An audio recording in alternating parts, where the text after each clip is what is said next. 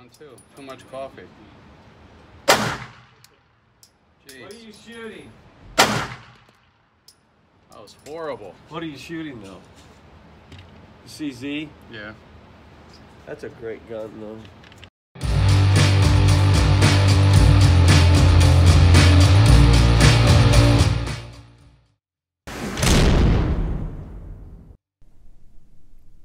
Hello everybody, MD Polo here. Thank you for joining me.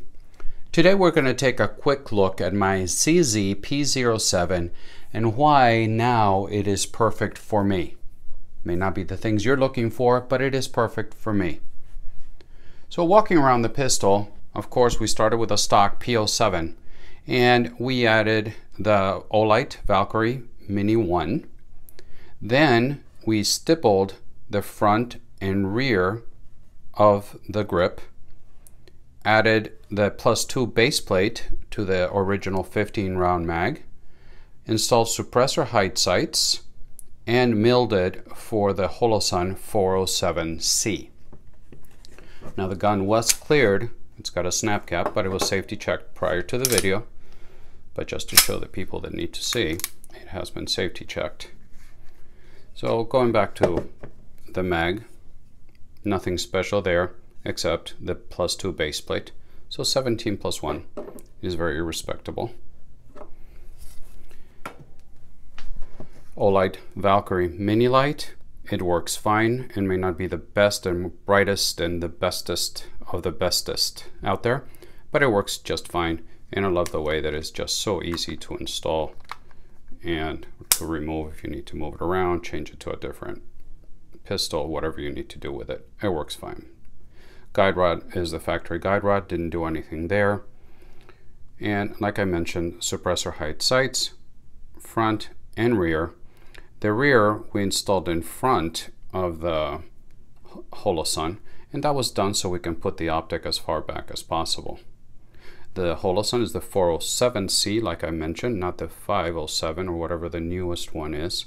I didn't really care for the extra options and the extra price that came with them, so the 407C works just fine for me. It's got the normal landing pads that you get from factory. Moving down to the grip, the side texture is the same, we didn't do anything there. And by the way, all the work was done by ZR Tactical in Noblesville, Indiana. He does fantastic work, and it's not too far away from me. The side of the grip we left exactly the same. Nothing was done. I didn't want any extra texture on the side, if I chose to carry this pistol, which I do from time to time, I didn't want it rubbing too much against my soft baby skin. The backstrap and the, the back strap was stippled and the front of the grip was stippled as well. The texture, let it catch up, is not too, too aggressive, but it's aggressive enough that gives you a good grip and is not going to go anywhere. I think he did a good job on matching the texture of the, of the side. The rear is actually the back strap is actually a little bit more aggressive than the front. I'm not sure that's how he intended it to do, but that's the way it turned out, and I actually liked it, like it quite a bit. The trigger is by Cajun Gunworks. Now we purchased all the parts separately and installed it here by ZR Tactical. So this was not done at Cajun Gunworks, but it's got the full trigger kit by Cajun Gunworks. So again, checking clear. And let me show you, let it focus catch up. But it is buttery smooth now. There's no grit, nothing. You're right there at the wall. Then you're going to get a little bit of creep to there, and then it breaks. And the reset, it goes a little bit further out than I'd like.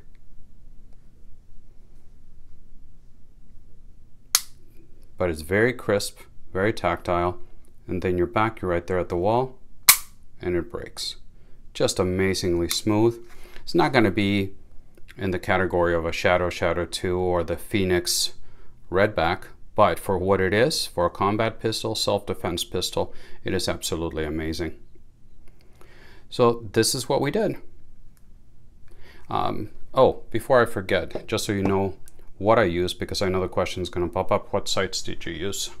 Well, the rear sight was by Ameriglo, and an interesting story there for their customer service because I ordered this. This was originally not meant to be supplied by Ameriglo for this review.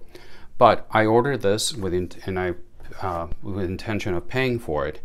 And something happened. Everybody's working with small staffs because of what's going on health-wise, the virus thingy, whatever you want to call it. And uh, my order never got shipped, and I wanted to have it ready for this review. So Ameriglo was very apologetic, and um, they sent this uh, for to the channel. They provided it to the channel for free um, as a kind of an, I'm sorry for messing up the order. So very, thank you very much and great customer service. The front sight is by Dawson Precision. Now this one I had a little bit of a problem with it and it was it is not their fault. It was 100% me having two brain cells and one fell asleep when I was ordering. And what happened was I ordered the front sight that was a little too high for what I needed to co-witness with the rear sight. So the sight, the front sight was higher, substantially higher actually than the rear sight. So ZR Tactical filed it down, reblued it, and now it's a perfect co-witness, as you can see here. Sorry about the extra coffee I had this morning, a little bit shaky. But there it is, CZ P07. It is finally perfect for me. I love, love, love this pistol. What do you think of it? Do you have a P07? Have you done any work to it? What have you done? And why is yours perfect for you?